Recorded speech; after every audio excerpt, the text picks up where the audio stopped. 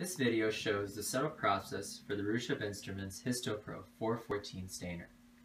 The unit has 14 reagent stations and an exit tank that can hold four slide carriers. Each slide carrier can hold up to four slides. Up to three running water rinse stations can be installed in any of the 14 reagent station positions. Each slide carrier will go from left to right through every station and stays at each station for the same amount of time. Station time is programmable from 2 seconds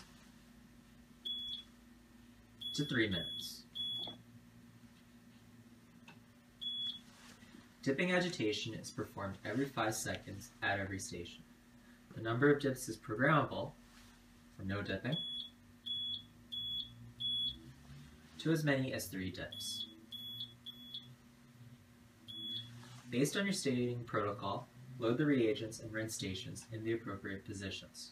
If running water rinse is desired, attach the water source to the stainer and then connect it to the faucet. Ensure that the drain hose is pitching downwards and that there are no kinks. To stain the slides, set the station time and number of dips desired.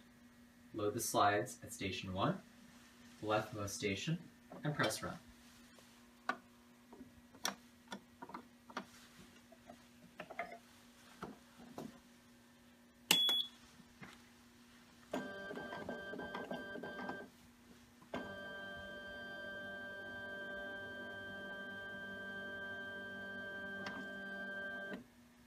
Add more slides when one or more slide carriers are being processed.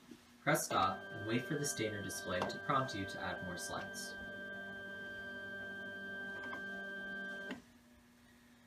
Add the next slide carrier and press run.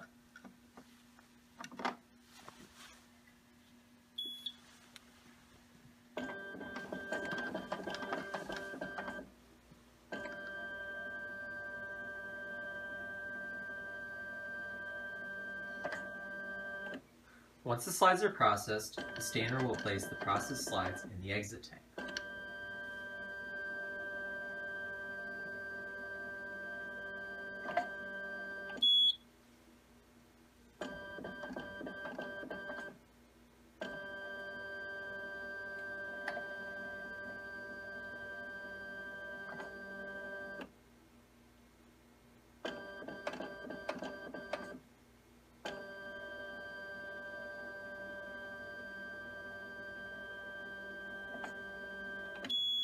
When the staining run is completed, remove all slide carriers from the stainer and turn the water supply off.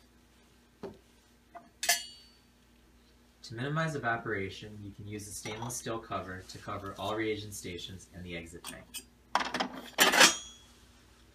Please refer to the operator manual for detailed instructions for installing the rinse station and attaching the water supply.